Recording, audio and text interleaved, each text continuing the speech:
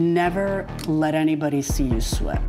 So I was born in New York City and I lived there until I was eight years old. I realized that I was a much better talker than I was a listener. I don't know what to say. I just don't like what you're saying. Sorry, Your Honor. I ended up going to law school at Georgetown and I was a prosecutor for Janet Reno. I loved it because it was so raw. Were you cheating on her? Yeah, sure. Okay. All rise. Our show will be a mixture of education, I think you're misreading the law a little bit, and entertainment. my main goal is justice and the law. That's been my legacy and the legacy I hope to continue into the future with this show. Olivia Hill claims the food at her godson's baby shower was ruined after her neighbor mowed his lawn, getting grass clippings everywhere. Dave Brown says Miss Hill didn't give him any notice, so he's not to blame. Okay, Ms. Hill, you're suing your neighbor, Mr. Brown, for $832, the cost of a baby shower you say he ruined. Yes. All right, what's going on here? So, Your Honor, he has been a pain in my side ever since I moved into the neighborhood. I moved in about a year and a half ago and I bought a fixer-upper house. So I had to do a lot of renovations. I had to redo the bathroom. I had to redo the kitchen. I had to knock out a wall to make the living room bigger.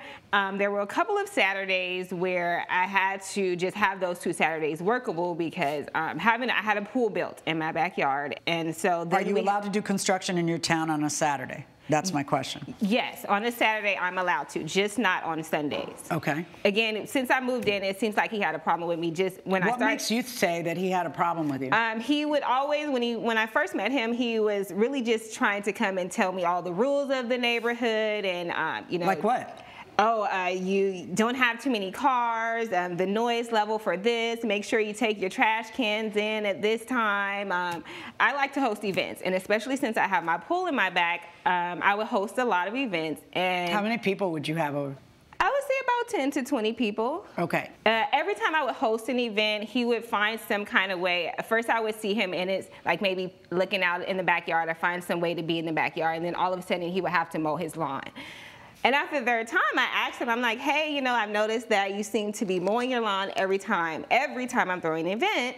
All right, and you, what was it? It was a baby shower? So it was a baby shower for one of my closest friends. The child is my godchild. Uh -huh. And um, so it was, of course, a little bigger than my usual events, maybe about 40 to 50 people. Okay. Um, and I, I had a lot of things going on. I had decorations, of course. We played games at the baby shower. I had games and prizes and everything. And I had a DJ and I had food catered.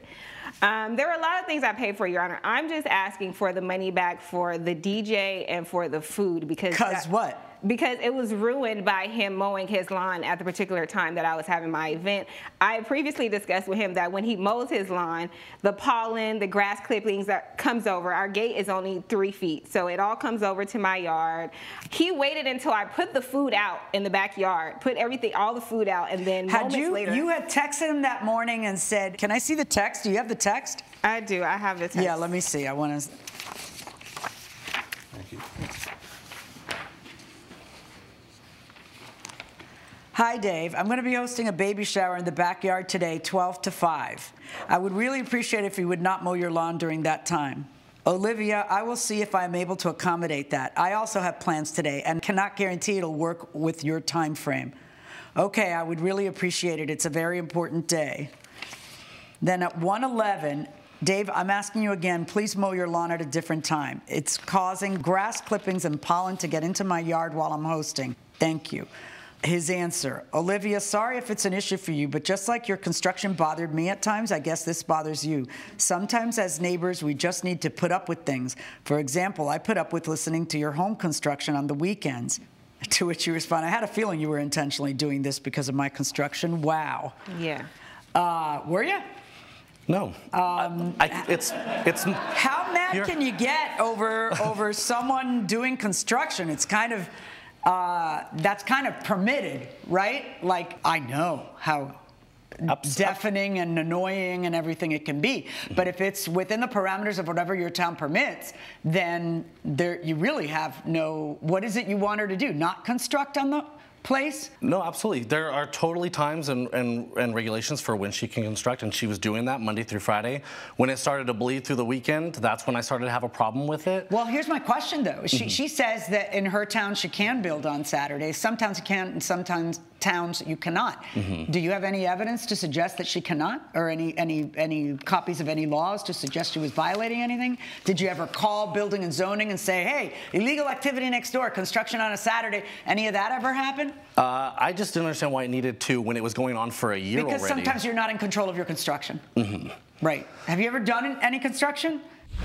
Coming up on Justice for the People. Let me tell you how it works. They say, I'm going to be there on your birthday, and you say, Thank you, sir, may I have another?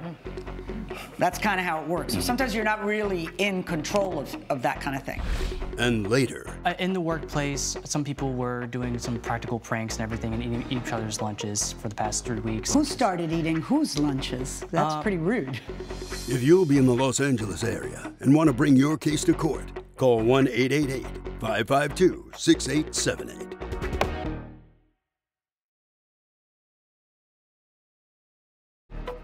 This is Justice for the People with Judge Milian.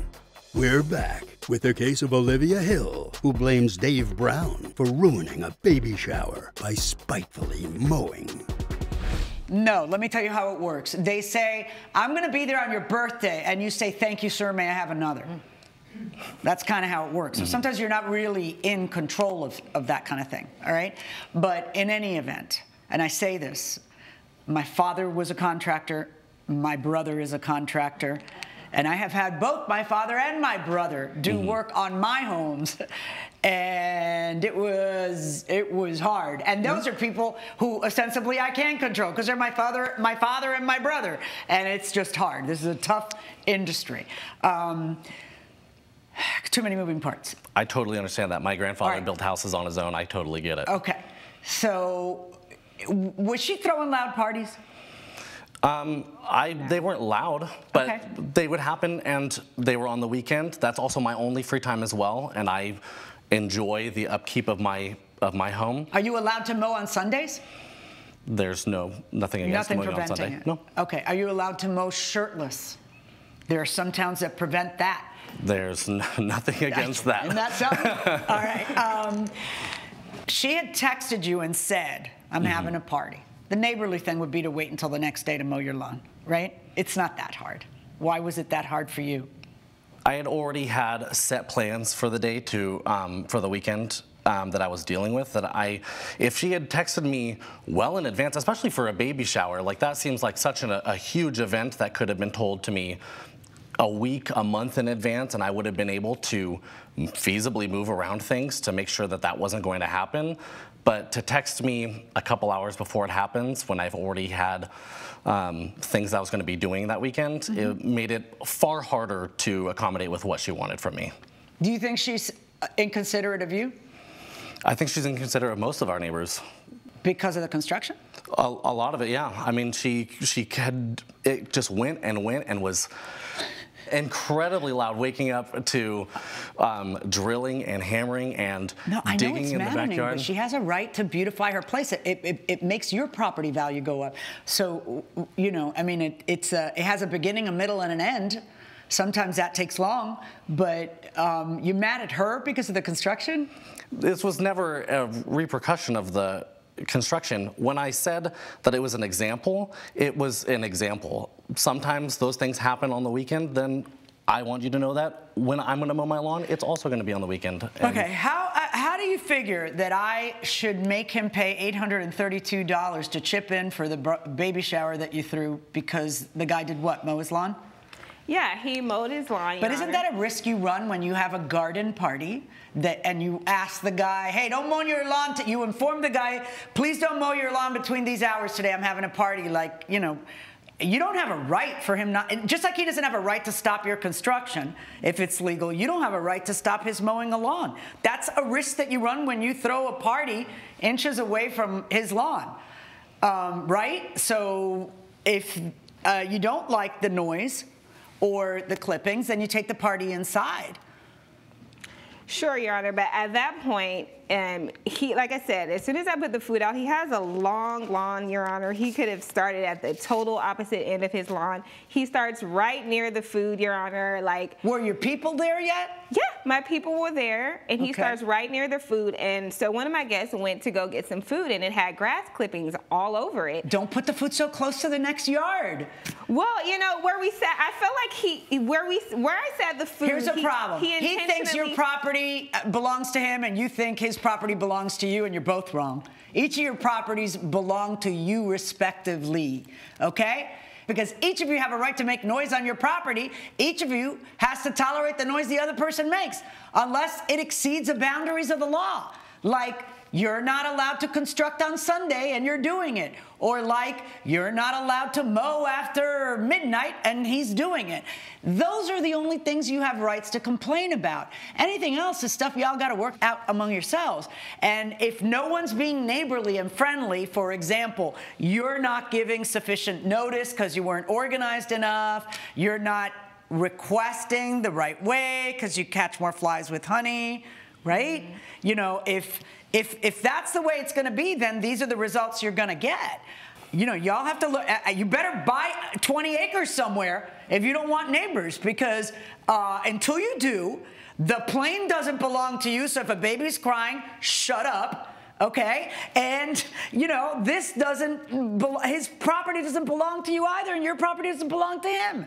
You have to learn to coexist. Okay. So no, he's not going to pay for part of your baby shower. Not one part, not another part, not any part. Um, and let me tell you that I'm not stupid. I kind of think he might have done it on purpose too. And I think he might have done it on purpose because he doesn't like how you spend a year and a half making noise with no warning or anything else, working Saturdays without telling him, hey, I'm really sorry, the pool guy has to come on Saturday. And then you send him a text at 8 in the morning and tell him, I'm going to need you not to mow between 12 and 5. Yeah, I'm, that may be what set it off. Uh, verdicts for the defendant. All rise. Judge Milian has ruled in favor of the defendant. The plaintiff's claim is denied. Glad the judge was able to make a correct decision on this case. It's not hard to be a good neighbor. It, it's not. And he, I don't know what his problem is, but I hope he gets over it. Coming up, It got to the point where my own food was stolen. Are you kidding me? That's hard to believe, I know. Would you uh, label it boss? Like, did you, maybe not boss, but did you label it with your name?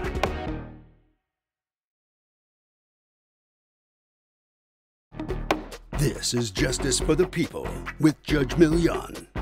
John Stevens claims he was the only one terminated after he participated in an office lunch prank. Richard Thompson says he warned all of his employees that game time was over, but the plaintiff's antics didn't stop.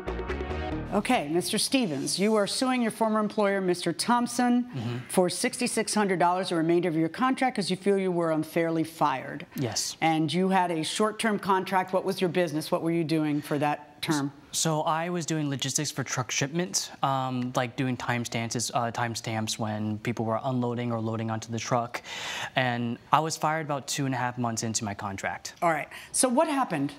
So uh, in the workplace, some people were doing some practical pranks and everything, and eating each other's lunches for the past three weeks into my contract. The first month, Who started eating whose lunches? That's Uh, pretty rude. yeah, I don't, I don't know, I, I don't know, uh, Your Honor. Well, did your lunch get stolen? Yes, yes, Your All Honor. right. And did you steal other people's lunches? Only out of retaliation when someone stole my lunch. Okay, but someone stole your lunch how many times? Once? Uh, three times. What's going on? Like, what kind of place are you running here? Everyone's a thief. You need to fire everybody. All right, so now you end up feeling like you have to get involved, and what do you do? Well, I thought it would take care of itself. I have adult employees, I have no children employees. No, I'm not sure, but go ahead. and it got to the point where my own food was stolen. Are you kidding me? That's hard to believe, I know. Would you label it boss? Like, did you, la- maybe not boss, but did you label it with your name? It's a sandwich my wife makes me. I have a special paper. People know which wrapping paper that is. It's Okay. the Boss Man's Okay. wrapping paper. And now I'm personally involved in this. Yeah, now it's gonna, that, that, that's where you draw the line. Coming up, Did you steal any food between February 24th and March 10th? Uh, it was Go, wait a minute. I'm waiting to hear him his answer. You can put your hand down. I don't need a drum roll.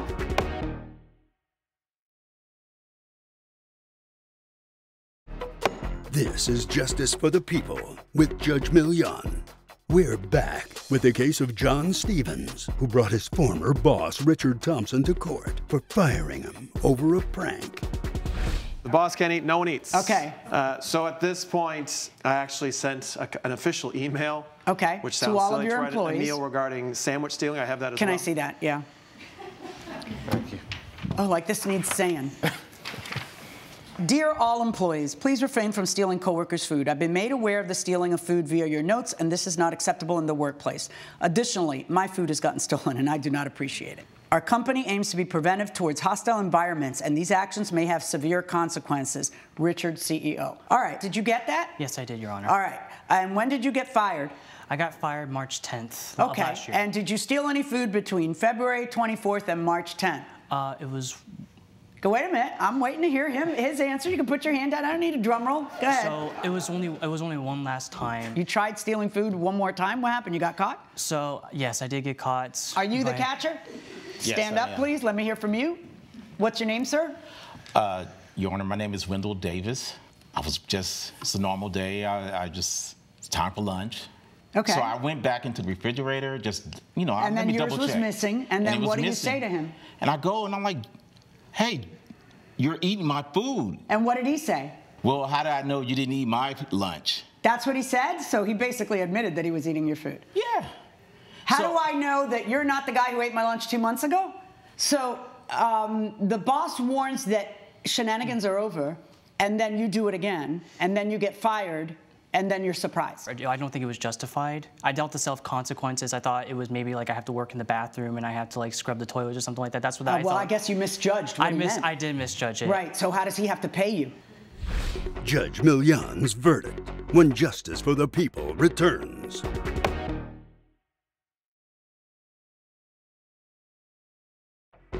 This is Justice for the People with Judge Milian. He actually says there's going to be severe consequences if this doesn't stop. And what? You're gauging how severe they're going to be? Because he sounds pretty angry in the email. I mean, uh, how old are you?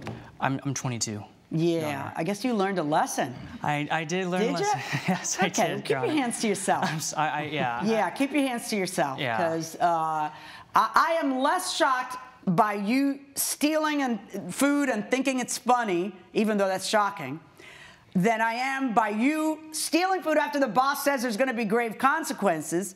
But I am most shocked by you coming to court and then suing. You literally filed a case in court to sue because you feel it was an unjust firing. Why do you think he fired you if it's not that you're a thief? After he told you not to be, like that needed saying. Because I felt like other coworkers were also doing it as well. They were. They were. They did Do you have any evidence that anyone, after the boss said enough of this stuff, no more notes, no more stealing, do you have any evidence that anybody else engaged in it? Uh, no, I do not, Your Honor. Yeah. Yeah. You're going to go home without lunch and without your $6,600. Verdict for the defendant. All rise.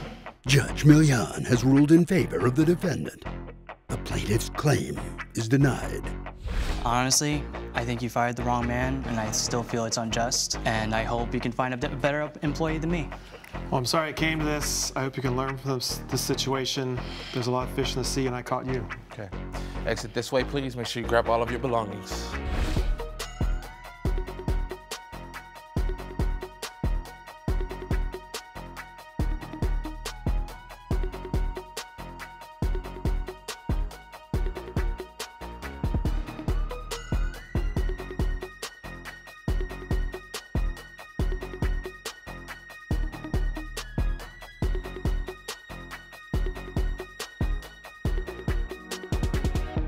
This has been a production of Allen Media Group.